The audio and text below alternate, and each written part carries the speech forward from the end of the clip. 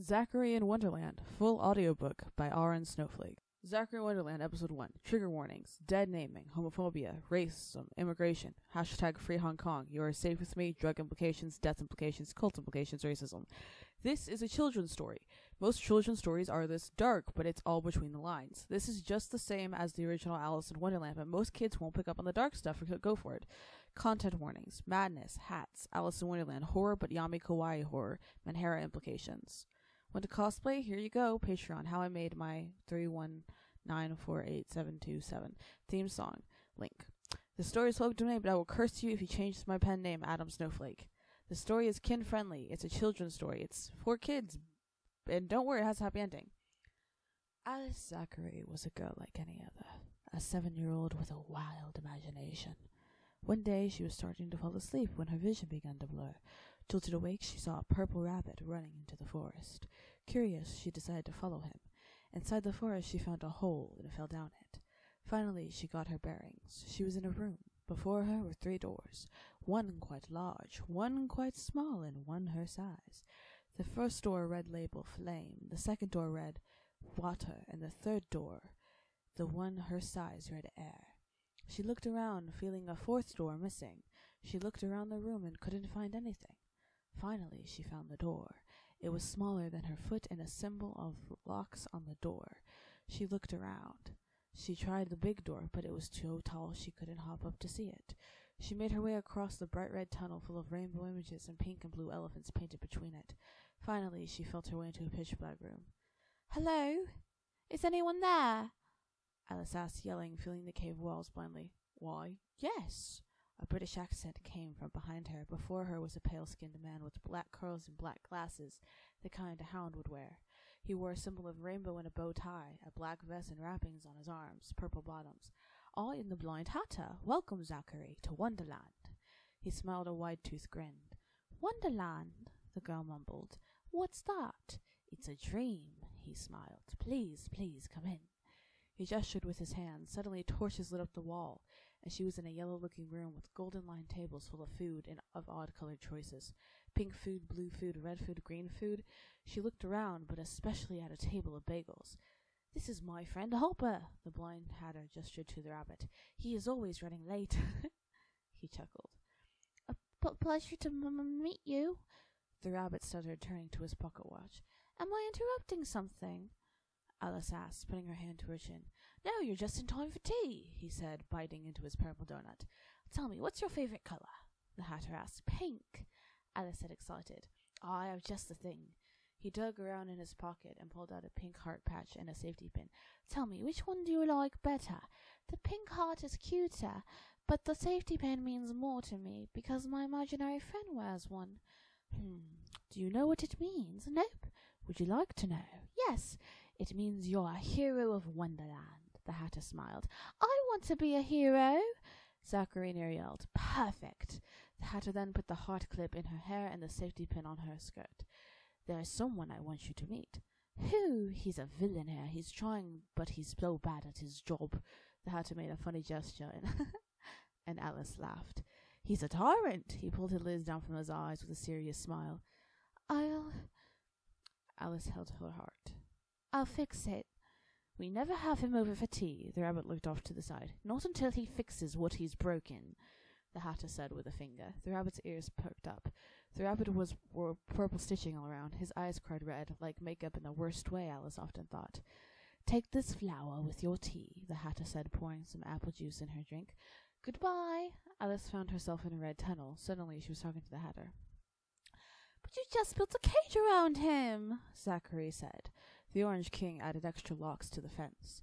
No, he came here against our kingdom status. Therefore, I'm sending him home. The Orange King began to dig a moat around the rabbit. The thing still chained to the wall. With beady red eyes, it looked at Zack. But how can you send him home if you're locking him up? Zack demanded, stopping her foot.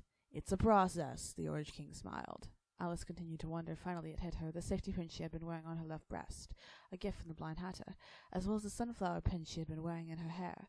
She would have to make it past the fence. The rabbit's ears perked up. The Orange King, despite building the ultimate safety net, continued to build the cage around the rabbit further. He then summoned by horn three red birds, the lightest one of the litter he took and placed in the cage with the rabbit. But you just took the baby bird away from his family. They came here against the rule of the kingdom, the Orange King said. But you called him here to take him away. Alice protested. The Orange King smiled after sticking pins in the bird's wings so it couldn't fly away. There, now our kingdom is safe. From the baby bird? Alex screamed, stomping her foot. Yes, the Orange King laughed. It was a heated laugh that outshone for Niles. Now then, Miss Zack, why don't you come over for a deal? But I have nothing to offer you, Mr. King. I keep telling you this. I'm sure you'll figure out something. My kingdom is great with diplomacy. Absolutely perfect. The Orange King took her by the wrist and began to tug at Zachery. Wait, Mr. King, may I have a pie? A pie? the king asked. Well, truly, I can't do diplomacy on an empty stomach. The king began to clap, and three white maids came in. They had bumps on their hands. They each served a different meal. One gave Alice a burger, another brought some tea, the last one brought a cherry pie. Now then, Mr. King, it's quite rude to watch a lady while she's eating. The Orange King took his hands and placed them over his face. Alice snuck in a safety pin and her sunflower clip with a slice of pie, which she then tossed over the wall to the king had built to the rabbit. She didn't have the scissors, but with enough time she knew it would take the chains the king pushed. The rabbit thumped his foot three times, and then she took the Orange King's hand, his eyes still covered by his lip. To a better location to talk diplomacy, Alice said as she pulled him off to the Golden River. They walked in the forest for three nights, though it felt only a moment until finally she was at a Golden River miles and continents away from the cage. The rabbit and bird should have escaped by now The king set up a golden table. He placed on it a pyramid statue. He pointed with his cane to the skeins the kingdom's deal. Alice piped up again. I'm sorry, Mr. King. I thought I would have something to show you, but I don't any more. I must have eaten my last deal. You see, us girls are very hungry, so sometimes we gobble entire products and companies up. The Orange King was furious. Take her by the wrist, he screamed and stomped his foot. Four card warriors came to the king's aid. Suits from ones to aces to wild to trump came to the aid of the king. They were each orange cards. They lifted her up by her hand, her pink dress flying about, her petticoat shining through. Unhand me at once! Alice screamed, but they didn't let go. They forced her into a cell where she met an odd man. My name is Zack, the small girl said. What's yours? The man smiled, adjusting the bandages on his chest. My name is Flower Vase. Flower Vase? Alice was surprised. What sort of a name is that? What sort of name is Zachery, especially for a girl? Zachery crossed her arms. I quite like my name, thank you, and so do I, the ancient man said. Tell me, are you from Wonderland? Yes, and by the looks of it, so are you. I fell here, Alice claimed. Oh, I must have been mistaken. Yes, we don't have the shade of pink here due to its cost. He gestured to Alice's dress. The plants are quite expensive, Flowerface said. Tell me, do you know the Blind Hatter? Yes, he's my friend. Do you know how to reach him? I hear you are to whistle. To whistle like this. Flowerface took his hand to his mouth and let out a sour sound Alice could ears. That's an odd way to reach someone, especially a blind hatter. It works every time. The two playing cards came into the room. Your Highness, your lawyer says we must meet you. Alice looked at Flower Vase. I think they mean you. But what about Flower Vase? Alice asked. Is he with you? Alice looked for approval with a nod from Flower Vase. Her left the scene. The White Queen will be having us for supper, Flower Vase amused. Apparently they think I'm a royal too, Alice whispered in the carriage. Aren't you? Flower Vase asked, and the cottage began trotting. Nope, Alice said, smiling. I see. May I ask why me? Well, you were there, were you not, Mr. Vase? You didn't ask what for. Vase gestured with his hands exaggerating as he spoke. Does it matter? You have offended the Hatters. Alice looked at him. I suppose not. Vase eased with tension seeping away, relaxing as the two arrived at the White Kingdom. As soon as they got out, the guards bowed. They stood but went near down to her feet. Alice looked at Vase. You're supposed to bow back, he whispered, smiling. Alice smeared the man going as far down and then curtsied, holding it for ten seconds. Right this way, the man said. She was taken to a table. She was about to sit when the guard stopped her. Several people sat seats before her. Finally, he gestured for Alice to sit at the end. There's not enough room for the foreigner. Alice began to get up when the staff saw her. The other foreigner. They gestured to Flower Vase. Your face is of our kingdom, but your hair is of a foreign land. Blonde, the Quiet Queen asked. Yes. Actually, Flower said with his mouth full, she died it. I was there. She took inspiration from pop music. The White Queen was surprised. Tell me, do you like fantasy stories? I'm familiar with some of it, Alice claimed. They clapped. Really? Who's your favorite? The Sun one. Ah, the Sun one, the girl. Yes, I grew up with a storybook about her. It's the story where she disappears and they have to get the Moon one to save her. Oh, so you do like fairy tales? Yes, Alice said, excited. Flavius began to laugh. What's so funny? the White Queen asked. But her favorite of ours is the monkey. It's a story from the West. The White Queen was surprised. Sun Wukong. He's mischievous. I like mischievous. Alice said, Very well. The Queen, White Queen, sipped some tea. Alice went to pour herself some Favre starter. Actually, you have to wait for them to pour it in the White Kingdom. Oh, really? How come? Alice asked the Queen What? It's rude not to. Oh, my mistake. Sorry. Alice nodded her head down. The White Queen smiled. It's very fine, Zachery. Tell me, do you have a last name? Well, I just go by Zachery. Zachery Alice is my name. Alice is my last name. Zachery my first. All right, Alice, the White Queen said. The very cute Alice, the White Queen said. And Alice ate a flower at the table. To be continued. Chapter 2 The Tea Party, Zachery in Wonderland, Episode 4. Hello again, Alice, the Blind Hatter said. What? she said over your eye. You keep falling asleep, the Hatter said kindly, sipping his tea. I hate falling asleep. Every time I do, I get it on birthday. What's an unbirthday? Oh, Alice asked Days. It's when you become a superhero, the Hatter said. Would you like to meet my boyfriend? the Hatter asked. There's no such thing as sexuality in Wonderland, Alice, the Hatter said, reading her face. Sure. Suddenly, a door with a giant question mark appeared, and in the middle of the party they were drinking green, red, blue, royal frosty milk tea. Out of it came a man with white skin and red scars that looked like tears. The Hatter thought it was just really pretty makeup. He was wearing a top hat. Hello, Ognu. This is Zone. He's here to babysit you. But I'm thirteen, Alice protested. Yes, and he's twelve. He's clearly twenty-seven, Alice protested. It's fine, the Hatter said jokingly.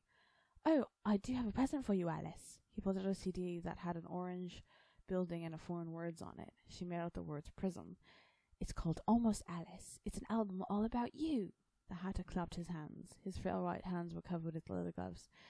Tell me, Mr. Hatter. Yes, the Hatter smiled. Do you like JD or BC better? Oh, Gate, the Hatter smiled.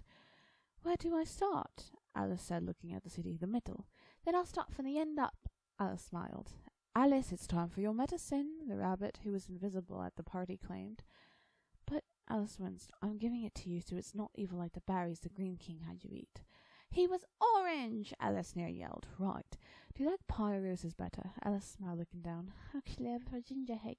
It's orange like your hair. she laughed. My hair is brown. My skin is black. This is makeup.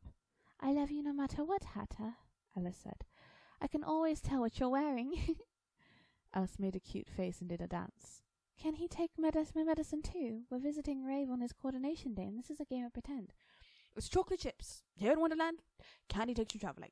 Zone looked surprised, noticing Alice's earrings. The Hatter sighed heavily. I swear it's not, Zone asked. Alice gets confused, the Hatter said. She doesn't realize this is the real Wonderland. Alice snapped at the Hatter. I do not get confused. I like to play pretend in my dreams, and sometimes. Alice held her chest. Pretending it's a dream is my home. Laughed. My name is Captor, Zone Captor, and who are you? He twirled his hair, pulling out a lollipop. I am uh, Zachery Alice, the imaginary queen of Wonderland. Alice let out a happy sigh. Anything that could happen, anytime, any place. Who's your favorite hat? Zone laughed loudly. My favorite jewel is the kitten, because he's scupper in Wonderland and needs someone to play along. It's not play, Alistair just said. He really thinks nobody believes him. That laughed. We're all mad here. He needs to meet us. Some put his fingers to his shin. You see, I thought he was a bird. He's both. He's a centaur. Alice giggled. Tell me, Hatter, is that your real name? What is a real name? the Hatter asked with a smile. Yours, I am you, Wonderland's a mirror. The Hatter smiled. Zone sighed. First absurd, now you, so many fans. Alice has never heard of you, Zone, the Hatter said bitterly, with a smirk. Well then, Zone sighed. Where would you like to start? Chapter 3 Hatter, Have a Nightmare, MCR, Idolo, J.K. Beard. Trigger warning ASMR, Dante Basco, Hook, Peter Pan, Creepypasta, YouTube, and Childish Gambino, Peep, and Marshmallows. Euphoria warning Menhera, Cham, Wrist Warriors, Sickly, Kenny, Kyle South Park, Doctor Who, Crossovers, New New New New York, is Murdoch and Drag, Carnation Books. Song Ken, Servant of Evil, I'm Not Okay, I Promise, Kind Hearted Exposition, I'm a Young Troll Lanternia, I'm Only Six Sleeps. Alice Zachery was an was a girl like another, a seven year old with a wild imagination.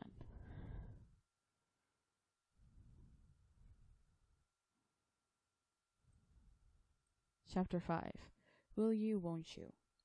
Alice continued wondering about Wonderland. Soon she came across a caterpillar, a large centipede with gold and black skin. He had a big nose and wobbled his little feet.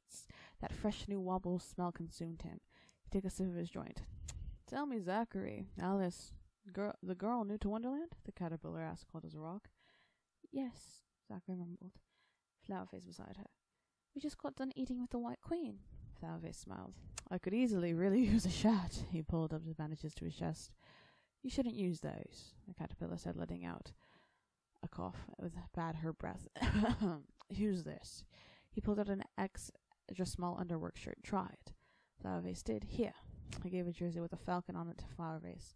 You look much better now, Moo. He took another sip of his joint. You look out of it, Mr. Caterpillar, Alice said under her breath, showing. That's because the flower I am eating through this pipe makes me dream. the caterpillar laughed. May I stay with you? Flowerface asked. But of course, I hope you don't mind if we're pebbles, the caterpillar said. I care not of it, Flowerface said, now fully clothed. Please, don't call me Moo, that's um my kid name. Oh, of course, the caterpillar said. Tell me, Alice, would you like to try some? The caterpillar rolled another pipe and offered it to Alice. No, thank you. I can daydream perfectly fine without flowers. Alice near yelled. You're very bright, though young, the caterpillar said. My body aches, the flower heals it, the caterpillar said. They call it scoliomus, the caterpillar sung. It's a cure, but I want the law to say so. Tell me, when you visit the Red Queen, request it. It's not legal in Wonderland to own these flowers. Caterpillar showed it to her. A leaf with four points. I will request it, Alice said, triumphant. Alice said goodbye to the caterpillar and continued walking throughout Wonderland. Finally, she made her way to some big pearly gates. This must be where the Red Queen lives, Alice said, spooked. There were several cards on the flowers of the gates. Alice picked up one, thinking, Hey, watch it! The flower playing guard spoke. Pardon? Alice asked a small card in her hand. It was like a magical painting that moved on the face of the card. My name is Toblerone. Do you deserve me? The card asked. I'm hungry, actually, Alice said, rubbing her stomach. I do think I deserve you, Zachery said. Tell me your one wish. I wish the king was a good guy, Alice said, smiling. The doors to the king, Red Kingdom opened themselves up. The Red Queen awaits. Alice heard a deep mumble voice say. Do you play croquet? the card asked Alice as she held him.